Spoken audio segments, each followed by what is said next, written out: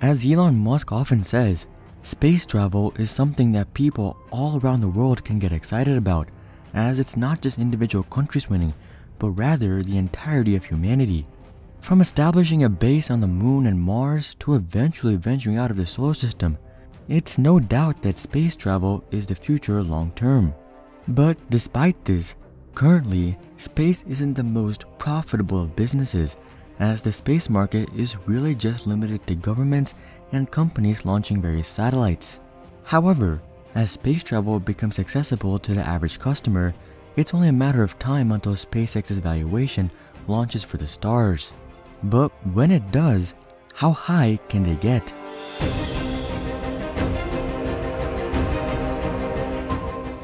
Well, starting off, looking into the next 30 years, the two main businesses for SpaceX would be Starlink and Starship.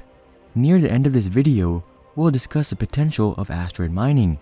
But first, taking a look at Starlink, this project is supposed to make high-speed internet available to rural and remote places using satellite internet. The vast majority of rural and remote places are neglected by the big internet providers like AT&T and Spectrum because it simply doesn't make economical sense for them to set up the necessary infrastructure to support a relatively small group of people. This is especially true for technological advancements such as fiber optic cables. The thing is, it makes sense for AT&T to install fiber optic cables in a large city to potentially win over some market share. However, what's the point of installing fiber optic in the middle of Nebraska where they already have a 100% market share? And this is where Starlink makes its entry. Unlike traditional internet providers, SpaceX doesn't have to build infrastructure specific to each community. Instead, they can simply launch a bunch of satellites which can serve people both in the centers of New York and London, as well as people in the Amazon rainforest and Sahara Desert. Traditional infrastructure costs can only be spread amongst a given community's population. However, SpaceX's satellite costs can be spread amongst their entire customer base and this is a root of their profit. So that's the market for Starlink and why they don't really need to fight head on with any providers to win over this market. With that being said, how many people will actually use this? Well, just recently, SpaceX requested permission from the US to deploy 5 million user terminals, which is up from their original request of 1 million. And that's just for users within the US. The US only has about a 20th of the world population, so this should scale up to 100 million customers globally. But of course, not all countries have the same purchasing power as the US, and Starlink may not be available in many countries. So we'll say that global demand is just a quarter of that at 25 million during the early stages of Starlink, or basically the next decade. Now, I'm sure that with good speeds, latency, and prices, SpaceX could capture hundreds of millions of customers within the next few decades. But I don't really think they care to do this.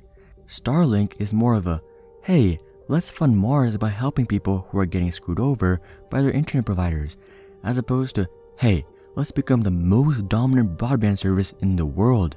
So I doubt they'll be too aggressive when expanding, especially after other projects become more viable. Thus, we'll say that they stabilize at about double their initial demand, which would put them at about 50 million worldwide customers, and we can reasonably expect this to occur within the next 20 years. As for the pricing of Starlink services, the expected price is $80 a month, and the average sale price will likely be upwards of $100 a month. But we'll call it 80 to estimate conservatively. With 50 million subscribers at $80 a month, we get 4 billion in revenue per month or about $50 billion in revenue per year. To put this in perspective, AT&T pulls in between 170 and 180 billion dollars annually off of just the US market. Currently, the global broadband service market is worth 326.7 billion dollars. But this is expected to grow 9% per year up until 2027, which would increase the market to 597 billion dollars. So by the time Starlink gets to $50 billion in revenue annually, they'll control about 5 to 10% of the global market, which is definitely a solid portion, but nothing dominant. As for their profit from Starlink, well, satellite internet providers today aren't exactly profitable. For instance, taking a look at Viasat, who is a nationwide satellite internet provider, they're essentially breaking even. They've had some positive years and some negative years, but most of their profits and losses are well below 1% of their annual revenue. For instance, over the past 12 months, they've lost $1 million, which is nothing for a company pulling in over $2 billion in revenue annually. Moreover, their gross profit has been consistently increasing, so their lack of profitability seems to be a result of expansion as opposed to a bad business model. Thus, giving Starlink a very reasonable net profit margin of just 3%, they would still pull in about $1.5 billion per year. That's nearly their entire current annual revenue, so this would definitely give them a lot of room to invest and advance their various technologies. Speaking of new technology, their next big project that will bring in massive revenue and profit is of course Starship. Starship is primarily being developed to enable interplanetary travel, specifically to Mars.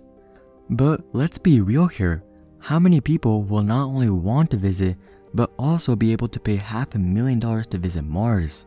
Now, don't get me wrong here, getting people to Mars will likely be one of the biggest achievements in human history. But from a business perspective, it's really not going to make that much money, at least not in the next few decades. The real monetary potential for Starship is with intraplanetary travel, or travel within the Earth. SpaceX is planning to use Starship to provide super fast travel within the Earth for journeys like Houston to Dubai and Dubai to Sydney as most long distance trips can be completed with Starship in less than 30 minutes. So, for most travelers, it would be a no brainer to use Starship for long distance travel as opposed to regular airliners, as it would save several hours each way. Really, the only barriers for Starship are price and safety, which are, of course, very serious issues. Right now, SpaceX is still planning to use Starship to get to Mars in 2024, I'm not quite sure that that time frame will quite work out, but I do think they'll have Starship ready to go within the next 5 to 10 years. But that doesn't mean that it'll be accessible to the average person by 2030. Starship will no doubt have to jump through many hoops to prove its long-term safety and win over government approval for consumer use. As a result, it will likely take 5 to 10 years of cargo missions and limited human testing before governments allow Starship to fly over land and take customers on a regular basis and such. So we're likely looking at 2040 before Starship really goes mainstream and starts to eat up market share from the airlines. But once this process begins, there's no stopping it, and here's why. Starship prices will be significantly higher than airlines, but they're not too bad. SpaceX hopes to achieve a per launch cost of $2 million and that's the Mars, where both Starship and the Super Heavy booster will need to be fueled up. For intraplanetary travel, only Starship, or the top part of a rocket, is expected to be used, which in the words of Elon Musk, dramatically improves cost, complexity, and the ease of operations. This is quite obvious as you're only using half the rocket. So point-to-point -point travel will likely have a per launch cost closer to $1 million. But we'll say that this is super ambitious and that Mars launches end up costing 4 million in 2040. That would make point-to-point -point launches about 2 million. We also have expenses other than the launch itself. For instance, they'll have to pay a ground crew, inspectors between flights, maybe buy some licenses, you get the point. We'll say that external costs add up to half a million dollars per launch. Throw in another half million for profit or a 16.6% margin and we have a per launch cost of about $3 million. The good part is that this is spread over 1,000 passengers, which comes out to per passenger price of 3000 Over time though, this cost is simply going to go down as SpaceX increases efficiency, so we'll likely see a price in the $2 to $3,000 range in the first 5 to 10 years of the service. And that makes sense, as Gwynne Shotwell, who is the chief operating officer of SpaceX, has stated that Earth-to-Earth -Earth tickets will cost between economy and business class flight tickets. Currently, a one-way flight ticket from New York to Dubai costs a little over 800 bucks for Emirates. Upgrading that ticket to business class will take that price up to $4,500. First class, on the other hand, will push it up to $14,500. but that's irrelevant to our calculation. Anyways, something else to keep in mind is that these ticket prices are with pandemic savings. So, on a regular day, we're likely looking at upwards of $1,000 for economy and upwards of $5,000 for business. As a result, Starship lands right in the middle. So yes, Starship will cost 2 to 3 times more than the regular flight ticket, at least at the start. But I don't think this is nearly as big of a problem as it might seem. You have to keep in mind that Starship provides exponential value. Yes, it's 2 to 3 times the price, but it also shortens a 14 hour flight to half an hour or 28 times faster. And people who travel internationally aren't generally broke. They can afford to buy business class if they wanted to, but they don't think it's worth the price. In other words, we generally don't want to throw several thousand dollars down the drain for some extra legroom and a larger TV. Heck, even after Bill Gates became a multi-billionaire, he would travel in economy, until of course he got his own jet. Thus, the logic of flying economy isn't usually, I can't afford business, but rather, why pay more to travel on the same plane? However, when we are shown exponential value, we are always ready to pay more, and this has been proven time and time again throughout history. For instance, third class tickets on the Titanic started at $15, which is the same as $107 today. And the Titanic was a 137 hour voyage. Today, a one way flight ticket from London to New York costs a minimum of $285 with no stops. And that's again with the pandemic savings. Usually, such a ticket would cost well into the 300s or about double the price of the Titanic. Thus, people were willing to spend two times the price to reduce travel time exponentially. Aside from that, people have been very willing to spend money on advanced technology. The iPhone was 10 times the price of the average phone when it came out, but given exponential advantages, Apple has sold 2.2 billion phones since launch. Similarly, when did dropping tens of thousands on a car become normal? And when did spending thousands of dollars on computers become ordinary? Evidently, people adopt new technology even when it's 5 to 10 times more expensive if the value is large enough. Thus, as long as people feel safe, we'll see a significant proportion of all long distance travelers switch to Starship, not just business travelers, especially when it's only 2 to 3 times the cost which many will be willing to pay. With all of that being said, in 2018, global airline revenue was $824 billion, and it was growing at 9.4% per year. Of course, we're seeing an artificial pullback right now, but things will likely go back to normal by 2022. So, assuming $824 billion in revenue in 2022 and 9.4% growth per year starting then, we would see $4.151 trillion in global airline revenue by 2040. Assuming growth slows down in the 2030s, we'll still see about $3 trillion in annual revenue by 2040, or about triple what we have now. And this is in line with many projections of increased demand over the next few decades. In 2019, we had 4.7 billion global airline passengers. The ACI, or Airports Council International, expects that traffic will reach 19.7 billion by 2040, or over four times more than today. As for what proportion of these flights are long haul flights, we don't have access to international data. However, the United Kingdom has released its data. In 2020, without a pandemic, they expected to have upwards of 100 million long haul flights and upwards of 200 million short haul flights.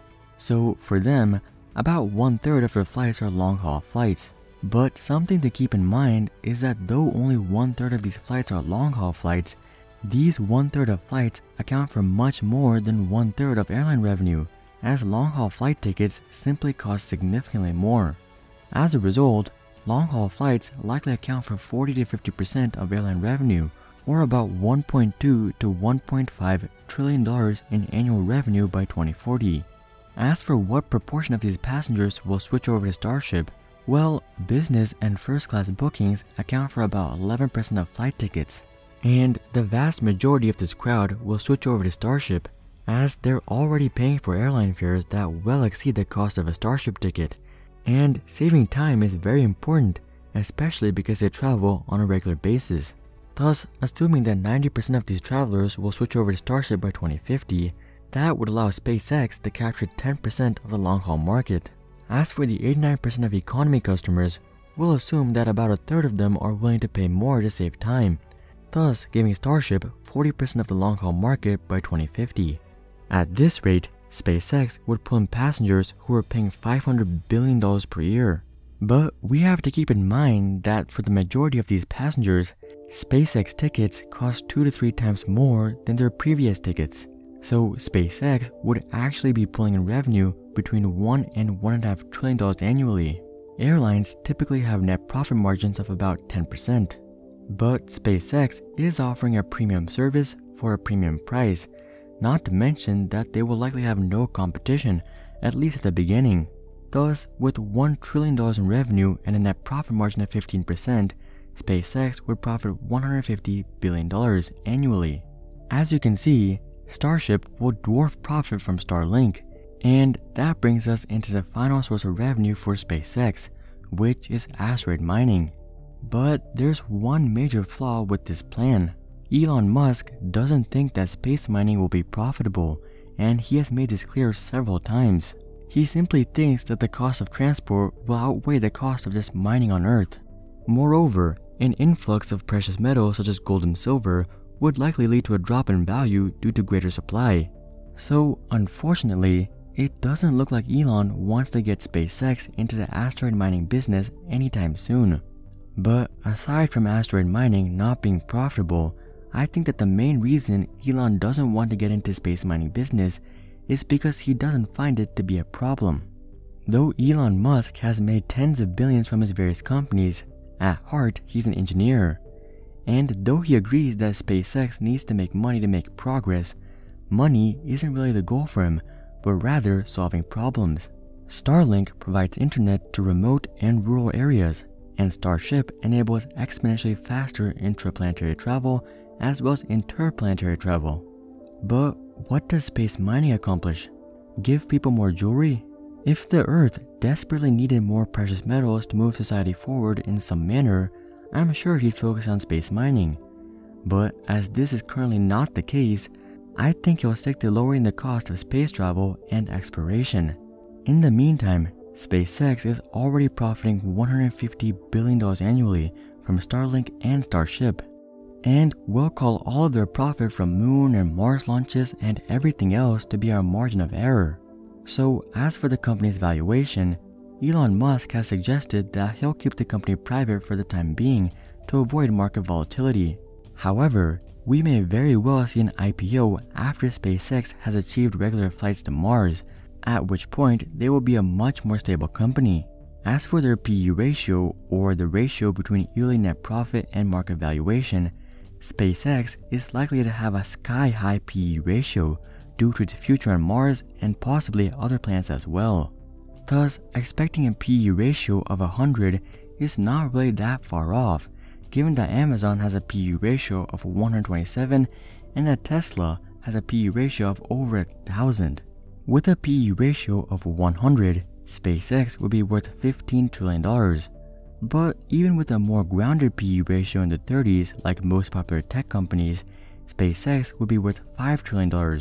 Thus, SpaceX will likely be worth about $10 trillion by the end of 2050 after executing Starlink and point-to-point -point travel using Starship.